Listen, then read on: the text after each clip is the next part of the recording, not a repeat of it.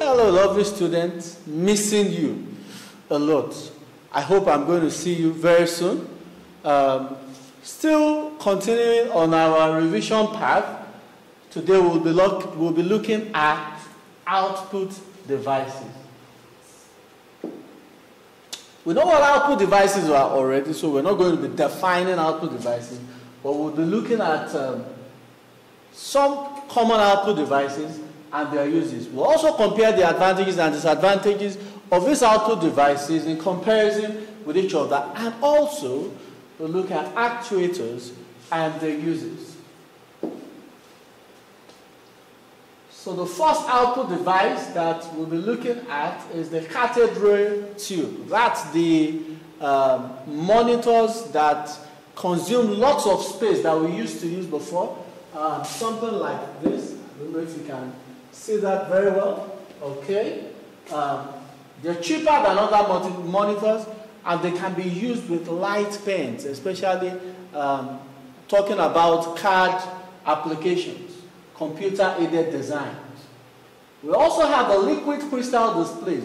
These are the more modern computers, which we call the flat screen that we have now. And you know what the advantages are? They are smaller, they are lighter, so they do not consume lots of text spaces. Uh, disadvantage resolution may not be as good as the CRTs. The CRTs have wonderful resolution, very good resolution. In-plane switching mode. IPS is generally used by creative professionals. Um, and the advantage is that it has wide viewing angles. That means, uh, you know, there I don't know if you have seen some computers that there are some angles that you are standing at, you cannot see the screen clearly, or it's a bit blurry. For the IPS, it has very, so even if you're standing something like this, you can still see it very clearly. Okay, we also have the LEDs. Um, you can read all about that. We have the touch screen that both serves, you will remember that um, on the IPU devices, we talked, we talked about the um, touch screen, yeah? Because it allows us to uh, select data, enter in data.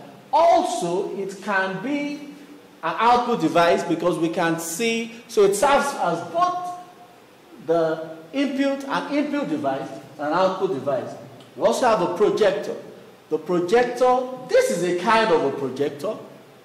Um, the projectors are machines that project um, image onto the board. So this is the projector here. This is the screen. So this screen is not the projector, but this device up here is the, the device projecting onto this screen, and this is the projector.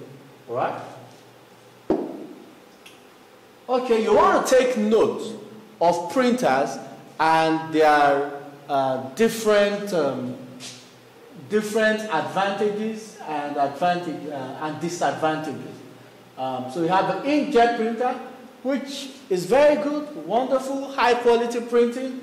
Uh, you have the laser printer, which has a sole advantage of being able to churn out lots of high quality printing, so it's faster. When you're talking about speed, uh, volume, and speed, um, lasers are preferable.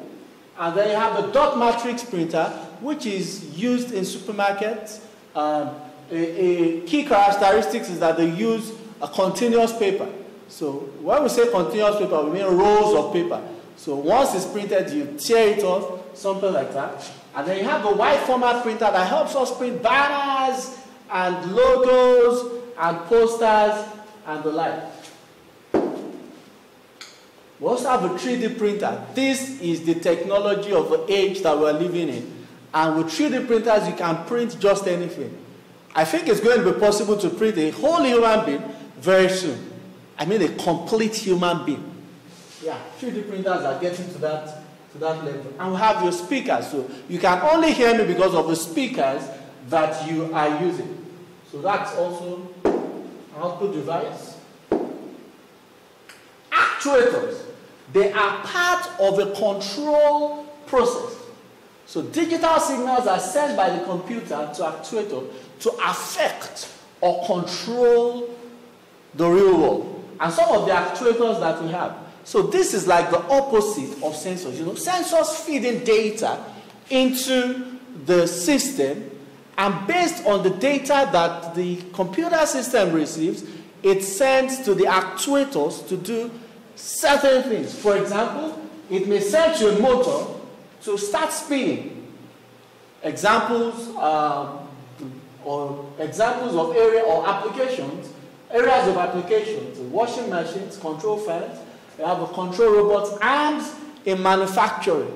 So all those robots actually work by um, rotors. You have the buzzers, which makes those sound. You have the ether, and then you have the lights. God bless you. So this is, I would expect to see you again um, in the Google Classroom. Make sure you do all your class tasks and all the tasks you have been given properly and go through those materials, especially those summary notes that I've attacked. It will greatly help you to jog up your memory. But also, don't forget to go through your textbook. In fact, that is your primary resource. I expect you to go through it very well to make sure your knowledge is compact and you're getting yourself ready and prepared for your IGCSE exams that is just around the corner.